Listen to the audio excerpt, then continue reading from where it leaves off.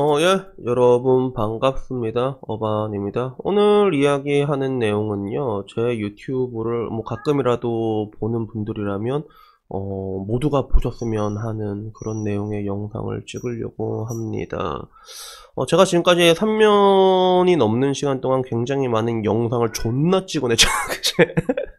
그치? 찍어내고 그러다 보면 나 역시도 내 영상을 보게 되면서 어 과거의 내 생각과 지금의 내 생각이 조금 달라진 부분들을 종종 발견하고네요. 그렇게 자주 변하진 않지 아무래도 나이가 늙다 보니까 근데도 아직도 생각이 변하고 있는 부분들이 있단 말이야.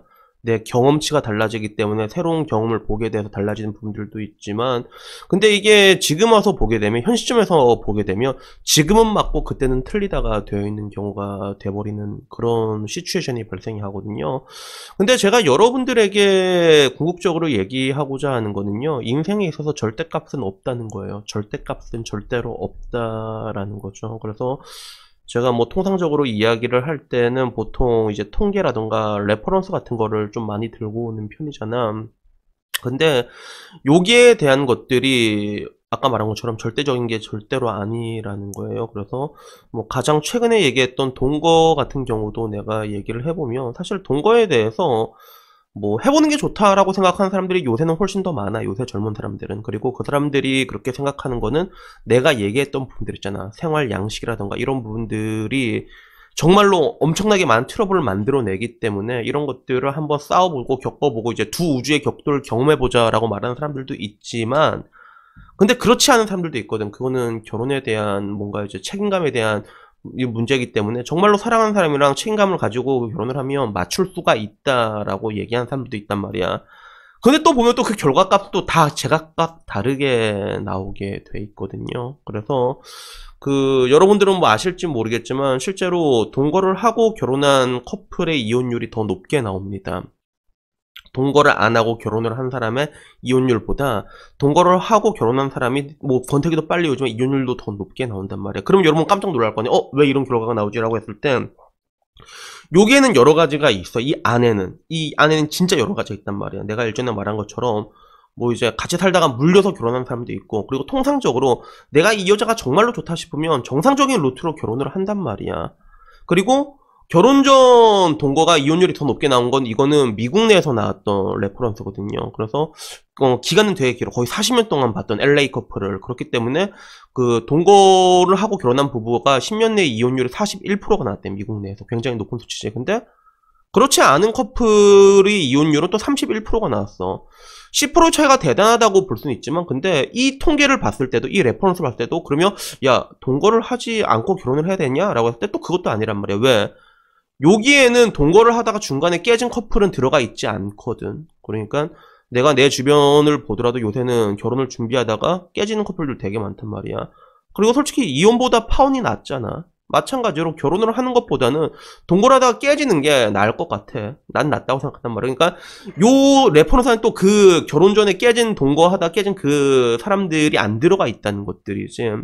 그래서 이런 것들을 내가 다 반영을 했을 때 결국에는 제가 들고 오는 통계라는 것들도 정말로 다각화된 방법에서 이게 다 보게 될 수 있는 해석할 수 있는 여지가 굉장히 많다는 거예요. 그게 보는 관점에서 따라서 다르고 그리고 그건 역시도 절대값이 아니라는 거야. 그래서 결론적으로 이제 이혼을 안 하고 있는 커플들이 잘 살고 있다라고 말할 수 있어요, 여러분? 아니란 말이야. 이혼을 안 한다고 이혼을 하면 괴로워서 이혼을 하겠지만 근데 이혼을 안 한 커플들을 봤을 때 사는 모습이 또 제각각이란 말이야. 이혼을 안 하고 살지만 진짜 고통스럽게 사는 사람들도 있을 거란 말이야. 그리고 내가 이게 굉장히 많은 reference를 들고 다 보니까 통상적으로 이게 차이가 나는 게 10%에서 진짜 많으면 20%예요. 그게 진짜 많으면 20%. 그래서 일전에 얘기했던 연애 경험이 많았던 사람들의 결혼이 연애 경험이 없더, 없었던 사람들보다 평균보다 더 불행한 이유도 이게 엄청나게 높게 나오는 게 아니란 말이야. 막 10%, 10%, 15%이 정도 차이란 말이야. 이게 가장 많이 벌어졌던 게 20%였는데 그 20%가 뭐였냐면 결혼을 한 남자와 결혼하지 않은 남자의 행복도였거든. 그게. 그래서 50대 이후로 봤을 때 내가 그래도 행복하다라고 말하는 사람의 비율이 결혼을 한 사람은 거의 한 60 정도가 나왔고 결혼을 안 한 사람은 한40 정도가 나온 적이 있었는데 근데 이게 내가 이때까지 들고 온 reference 중에 가장 길게 벌어진 점수였거든 이게 20이라는 숫자가 근데 아까 말한 것처럼 근데 이 20이라는 숫자가 절대값은 아니라는 거야 왜? 그 안에는 결혼을 해서도 정말로 고통받고 살고 있고 아무런 존중도 못 받는 그런 기러기 아빠 같은 퐁퐁남들도 들어있을 뿐더러 그리고 이 통계의 시점을 해석을 했을 때 현대의 시점에서 다시 해석하면 다른 결과가 나온다는 거야. 뭐냐 하면 지금 현 시점에서 50대가 넘었는데 결혼을 한 사람과 그렇지 않은 사람은 그 stat 자체가 다르거든. 통상적으로 뭐 결혼을 한 사람과 안 한 사람의 stat을 비교했을 때 지금은 남자들은 결혼을 못 하는 거고 여자는 안 하다가 못 하는 거잖아. 결혼을 한 사람의 stat이 훨씬 높게 나오는데 이게 20년 전으로 돌아가게 되면 그 격차가 더 벌어지게 돼 있단 말이야. 그래서 이거를 동등한 값을 이제 예, 수정을 하게 되면 또 그 수치가 20까지도 벌어지지도 않을 거라는 거야. 근데 결론적으로 내가 말하고 싶은 건 뭐냐면요. 인간이란 동물은 전부 다 개별적인 존재라는 거죠. 그래서 제가 뭐 충분히 근거가 될 만한 reference를 들고 왔는데도 납득하기 힘들 때가 많을 거야. 그제 사람들이. 그러면 납득하기 힘든 여러분들이 생각하는 그게 정답이라는 거예요. 인간이라는 동물이나 뭐 사회적인 동물이나 봤을 때 아까 말한 것처럼 똑같은 reference를 가지고도 굉장히 다면적으로 해석이 될 수가 있고 그리고 인간은 누구나 개별적인 존재잖아. 그래서 내가 이런 근거를 들고 와서 이걸 봤을 때 여러분이 봤을 때 어 이거 아닌 것 같은데 fuck you라고 말하고 싶으면 여러분이 fuck you 하는 게 그게 정답이 된다는 거예요. 그래서 나도 이게 어느 순간 느낀 게 내 딴에도 이게 여러 가지 통계들을 들고 오지만 일단은 그 통계라는 게 수치가 그렇게 엄청나게 벌어진 경우가 많지가 않더라고. 내가 봤을 때 아까 말한 것처럼 진짜 많이 벌어봤자 한 20 정도의 수치가 벌어지게 돼 있거든. 근데 과연 이런 것들이 모든 것들을 대변해 준, 줄까라고 생각을 해보면 보는 관점에 따라서 되게 다른 답이 나올 수가 있고 또 시대에 따라서 다른 답이 나올 수가 있고 그리고 똑같은 시대에서 똑같은 값으로 본다고 해도